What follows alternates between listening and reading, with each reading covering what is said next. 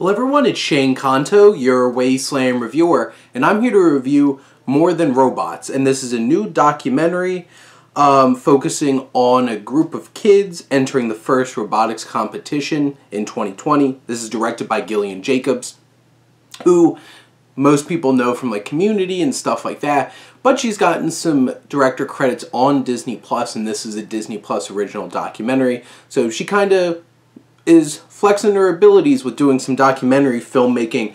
Now, I wouldn't say this film necessarily has a ton of personality. It's not something where like, I could look at this and be like, I know who directed this. But it's well paced, it moves well, it's well made.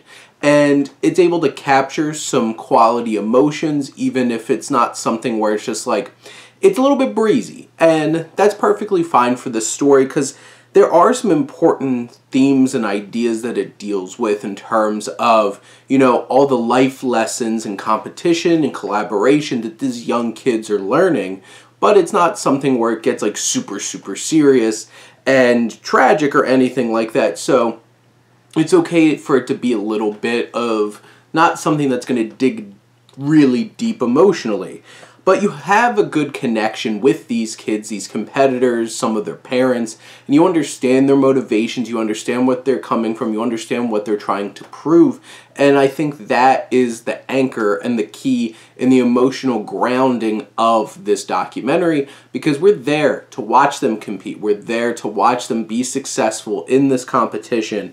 And not gonna lie, once it gets into the competition, it's pretty exciting watching all these robots trying to like shoot balls into spaces or trying to like pull down certain objects and you appreciate the team building and the collaboration and the competition and it makes the film a little bit more exciting. It has a variety of perspectives. You have kids from very different backgrounds. You have some kids on the spectrum. You have some kids where English is not their first language. And there's all of this that either it helps shape each of their perspectives, their experiences in this competition, and it's nice to see that variety of perspectives and experiences because it allows this film to feel more well-rounded and you feel like you want to root for all these different kids where they're coming from and it's a feel-good kind of film and it's a nice watch and it's meaningful and inspiring to see all these kids come together and do something special like this. So head on over to Disney Plus. It's a nice time.